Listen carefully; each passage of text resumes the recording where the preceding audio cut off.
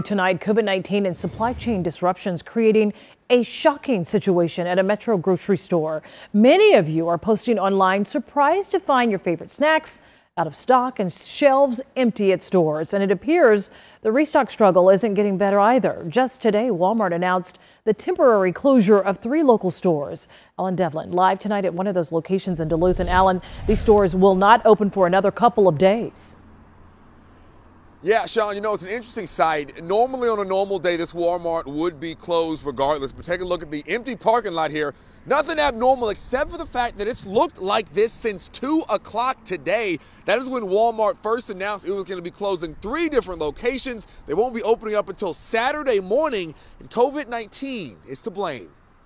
It seems as though lately when I come, a lot of things are not on the shelves. Stores across Atlanta filled with empty shelves, even closing over COVID. Walmart confirmed it's closed three local stores, one in Newnan, one in LaGrange, and one here in Duluth. This will allow extra time for a third party specialist to further sanitize the stores and will also give our associates additional time to restock shelves and prepare the store to once again serve the community. In other stores, shortages in terms of availability of workers, both to produce product as well as to distribute it are causing some of the supply chain imbalances to be harder to rectify than they might be if labor markets were more cooperative. Supplies of many essentials, including meat, fruits, and vegetables, slim to none at some local grocery stores. So I just have to, you know, come every, you know, pretty often to see to get the items that I need. Former Atlanta Mayor Bottoms took to Twitter to point out the shortage, saying she can't seem to find the groceries she's looking for at this Cascade Road Publix. These are not normal times. The good news experts believe with time, the chain and workforce will catch up